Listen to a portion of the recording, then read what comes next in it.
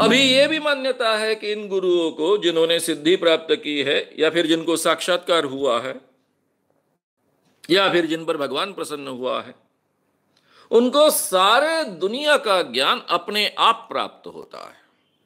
ये मान्यता है। आम आदमी की मान्यता है। आम भक्तों की मान्यता है। और इन गुरु कहने वाले बाबाओं ने हमारे दिमाग में ये बात ठूस ठूस कर भरी है। इनको ये ज्ञान अपने आप पर प्राप्त होता है। और फिर इन गुरुओं को प्रसन्न करने के लिए उनकी आज्ञा अमल में लानी है।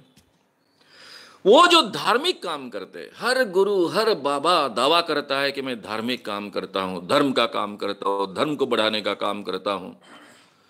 भगवान को प्राप्त करवाने का काम करता हूँ। मैंने तो प्राप्त कर लिया है ना, बाबा ने प्राप्त कर लिया है। लेकिन आम आदमी को भी भगवान प्राप्त हो, इसलिए मैं ये प्रयास करता हूँ। अब उसलिए वो अलग अलग आडंबर खड़े करते हैं। भक्तों से डोनेशन आते रहता है। अब बताना तो पड़ेगा, इन कामों का मैं अच्छा यानी इन पैसों का, लोगों से जो आ रहा है, उनका योगदान हो रहा है, उसका मैं अच्छा उपयोग कर रहा हूँ। इसलिए वो अलग अलग ढंग के काम करते हैं, उसके बारे में हमने कल ही देखा था। और इन कामों में हमें शरीक होना है। जो पूरी एकाग्रता से, पूरी मेहनत से इन कामों में शरीक होगा, उसको आसानी से गुरु की कृपा प्राप्त होगी, उसका जीवन सार्थक होगा, उसको मोक्ष प्राप्त होगा, गुरु उस पर प्रसन्न होगा। ये बातें हमको बहुत ही बहुत ही बार बार कही जाती है, प्रवचनों के ज़रिए कही जाती है, आम बातों में कही जाती है, जो बाबा के साथ, उनके साथ में रहने वाले शिष्य होते हैं, वो हमें ये समझाते हैं बार बार कहते हैं। और इसमें से बचपन से जो हमारे मन में एक श्रद्धा प्रक्रिया है, आस्था की प्रक्रिया है, वो एकदम से मज़बूत हो जाती है। अब ये श्रद्धा प्रक्रिया क्या है? इसके बारे में वीडियो ऑलरेडी अपलोडेड है यूट्यूब चैनल पर आप देख सकते हो। लेकिन फिर भी अभी ये बात की लिंक आप तक पहुंचनी चाहिए, इसलिए मैं शॉर्ट में ये बात आपके सामने रखूँगा। ये श्रद्धा नाम की जो चीज़ है, जिसे हम हिंदी में आस्था भी कहते हैं, श्रद्धा ये शब्द संस्कृत होने के कारण हिंदी में भी है, ये आस्था इस विषय का अभ्यास और धर्म विषय का अभ्यास। यूनिवर्सिटीज में कम से कम चार विषयों में तो होता है। एक सोशियोलॉजी, समाजशास्त्र, सामाजिक विज्ञान, दूसरा फिलोसॉफी, तत्वज्ञान, तीसरा एंथ्रोपोलॉजी, जिसको मानव वंश शास्त्र ऐसा कहते हैं, और चौथा है साइकोलॉजी मानस शास्त्र ये चार विषयों में पूरे दुनिया में इन विषयों का अभ्यास होता है। अब पूरे दुनिया में ये जो ज्ञान प्रक्रिया है, उसकी एक डेफिनेशन तैयार होती है, क्योंकि उसकी एक डिसिप्लिन है। इस डिसिप्लिन के अनुसार श्रद्धा इस शब्द की डेफिनेशन की गई है। क्योंकि श्रद्धा ये प्रक्रिया केवल हिंदू धर्म में या भारतीय धर्म में नहीं है।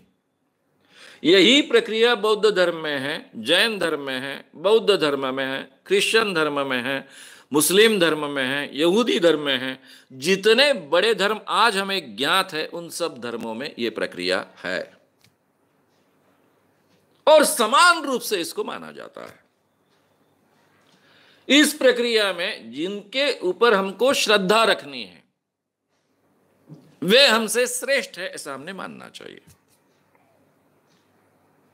जिन पर हमें श्रद्धा रखनी है उनका शब्द प्रामाण्य हमने मानना चाहिए। जिनके ऊपर हम श्रद्धा रखते हैं, उनके बारे में हम बिल्कुल दिल में, मन में डाउट नहीं रखेंगे, शंका नहीं लेंगे, संदेह नहीं करेंगे, और उनकी कभी चिकित्सा नहीं करेंगे, उनको कभी जांचने की कोशिश नहीं करेंगे। ये चार इंग्रेडिएंट जहाँ पूरे होते हैं, वहाँ श्रद्धा प्रक्रिया पूरी होती है। अभी मित्रों, किसी को श्रेष्ठ मानना, इसमें तो कोई दिक्कत नहीं है। हमसे उम्र से कम होते हैं, फिर भी कुछ लोग ज़्यादा विद्वान होते हैं तो उनको श्रेष्ठ मानने के लिए हम हमेशा तैयार होते हैं। शब्द प्रामाण्य मानना, इसका मतलब क्या है? अगर मैंने आपसे कहा कि मैं अमेरिका में गया तो आप में से मैक्सिमम लोग मुझ पर विश्वास रखेंगे। या सभी के सभी विश्वास रखे। कोई भी अमेरिका में जा सकता है, मानो साहब गए।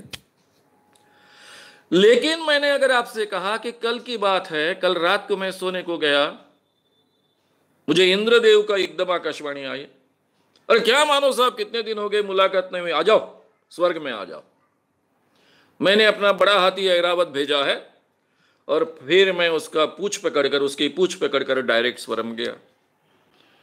स्वर्ग में भगवान ने, इंद्रदेव ने मेरा बहुत स्वागत किया। वहाँ की अप्सराओं ने नृत्य दिखाया, अमृत पिया। सुबह सुबह मैं वापिस आया। ये बात अगर मैं आपसे कहूँ तो क्या आप मुझ पर विश्वास रखोगे?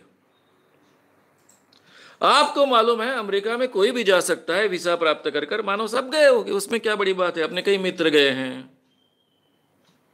आपके कई मित्र गए हैं। रिश्तेदार गए हैं। कोई भी जा सकता है। इसलिए आपने मेरे बात पर विश्वास रखा। जांचने की कोशिश नहीं की।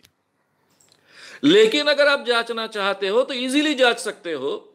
मानो साहब, आपका पासपोर्ट देखने को मिलेगा? कौन कौन से देश में गए? जरा हमको भी पता चले, हम भी जाने की कोशिश करेंगे। मेरा पासपोर्ट देखते ही आपको पता चल जाएगा कि सही में मैं अमेरिका गया था, नहीं गया था। अब मैं कह रहा हूँ कि कल रात को मैं स्वर्ग में जाकर आया हूँ सुबह सुबह वापस आया हूँ। अब आप मुझ पर विश्वास रखोगे? नहीं रखोगे। आप में से जो बहुत अंधविश्वासी नहीं है, वे सभी मुझसे सवाल पूछेंगे कि, मानव साहब, आप स्वर्ग में गए थे, इसका क्या प्रूफ है आपके पास? इंद्रदेव ने आपको बुलाया। अब हाथी की पूछ पकड़कर स्वर्ग में गए। इसका क्या प्रूफ है? तब मैं कह सकता हूँ मैं कहता हूँ, यही प्रूफ है। इसी को शब्द प्रामाण्य कहते हैं। गुरु के मुँह से जो बात निकलती है, वही शब्द प्रामाण्य होता है। आपको पूछने का अधिकार नहीं, आपने पूछना नहीं चाहिए। गुरु के मुँह से निकलने वाला शब्द ही प्रूफ होता है। इसी को शब्द प्रामाण्य कहते हैं। और इसके बाद में उसके बारे में, उस गुरु के बारे में शंका नहीं लेनी है, संदेह नहीं करना है डाउट नहीं करना है, और उसको जांचना भी नहीं है, उसकी चिकित्सा भी करना नहीं है। इसको कहते हैं श्रद्धा रखना।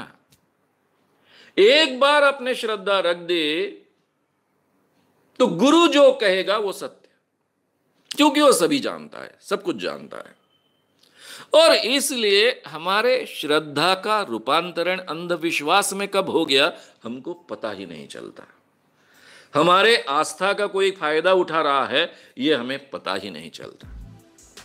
अगर आपको ये वीडियो पसंद आया हो तो उसे ज़रूर लाइक करें। लोगों में ये अवेयरनेस फैलाने में हमारी मदद करें। वीडियो को ज़रूर शेयर भी करें। तो हमारे यूट्यूब चैनल शाम मानो को विज़िट करें। ऐसे सारे वीडियोस का आनंद लेने के लिए हमारे चैनल को सब्सक्राइब करें। उसके लिए सब्सक्राइब बटन दबाएँ। नए वीडियोस का नोटिफिकेशन पाने के लिए बेल आइकन दबाएँ।